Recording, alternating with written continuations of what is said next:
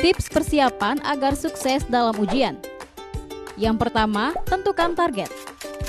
Dengan menentukan target bisa memicu motivasi untuk berusaha keras mencapai target. Yang kedua, membuat jadwal belajar yang konsisten. Menjadwalkan belajar secara konsisten dapat melatih kedisiplinan. Yang ketiga, diskusi kelompok. Diskusi kelompok bisa menjadi sarana sharing ilmu dan mendapat banyak perspektif baru. Yang keempat, jangan melakukan hal yang kurang bermanfaat. Dan yang terakhir, refreshing untuk menghilangkan stres.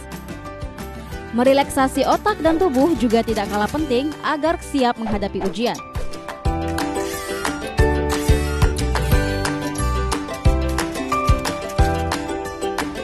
Itulah tips persiapan ujian. Semoga bermanfaat.